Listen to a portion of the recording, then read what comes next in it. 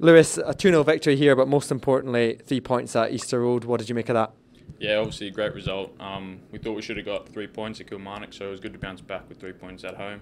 And obviously it was a great fan base, and we're glad we got the win for the fans. What was the game like to play in? Because it seemed a re- relatively comfortable victory from the sidelines. Well, like I said, you can see the philosophy of football that we're playing. Um, we're keeping the ball and we're moving it very well. We got a lot of opportunities. Could have been a few more. But like I said, if we stick to the game plan that the gaffer set out, then I think we're going to be in for a successful, successful season. Your first goal as well for the club. It looked like you enjoyed it. Second goal, come on. but yeah, yeah no, first first official goal, so it feels good. Um, obviously, I'm in a bit more of an attacking position this year, so um, it's a matter of doing it on both ends, defensively and attacking, and I'm just glad I can help the team get three points. Yeah, I don't think we're going to give you that goal against Kilmarnock. But um, talk us through your one today.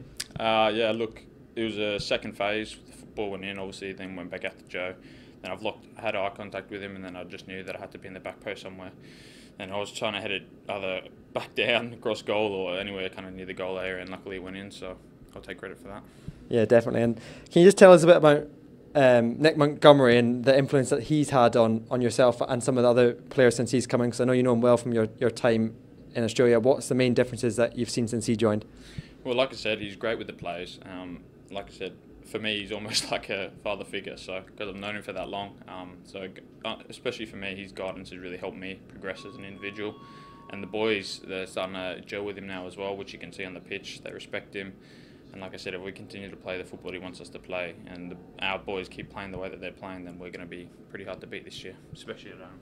Just finally, then, two more home games in the next seven days. A really good chance for this group to kick on from here. Yeah, exactly. It's exactly where we want to be, right? Easter Road with all the fans behind us, and like I said, if we can get even more fans down, like it's it's perfect. Like we we can really tell the difference, and it's almost like having an extra player out there. So I think it'll be really good for the next few games coming up. Nice one, Lewis. Well done today.